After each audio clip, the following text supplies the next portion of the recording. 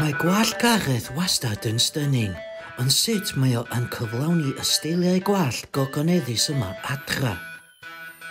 Heddiw, mae'r orangutan byd enwog, Gareth yr orangutan, yn mynd i siarad efo ni am ei edrychiadau eiconig. Hei Gareth, sut wyt ti wastad yn edrych mor cwl? Cool? Diolch am ofyn, Gareth. Dwi'n meddwl y cyfrinach i fod yn cwl ydy ddim i poeni os wyt ti'n cwl neu beidio. Waw, ateb dwys iawn. Ie, yeah, dwi'n gwybod. Mae'n rili really hawdd.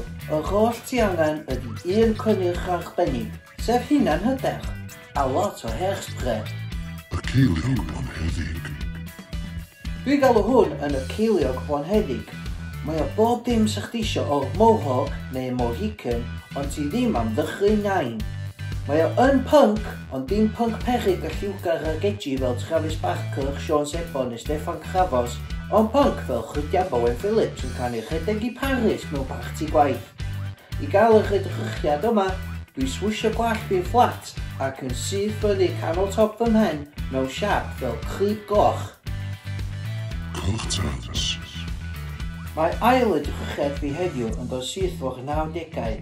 Dyma y cyrtans. Os ti eisiau edrych fel un o bouncwyr hen sync neu Backstreet Boys, neu fel High School Heartthrob mewn hen sitcom, dyma'r edrychiad i chi.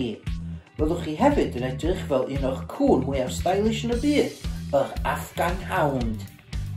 I greu'r edrychiad yma, dwi creu lein parting yn canol top fy mhen a brwsio lawr yr ochrau yn fframio'ch gwyneb fel par o cyrtans penthouse. Di gael hwn yn y penthouse, neu'r pentu yn Gymraeg, achos mae o fflat ag yn uchel.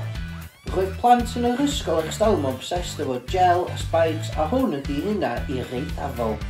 Mae'n adio taldros i ddych fel fi, ac mae'r siap sgwar yn eithaf dyfodolaidd a milwr ieithus fel swltiwch o'ch gofod.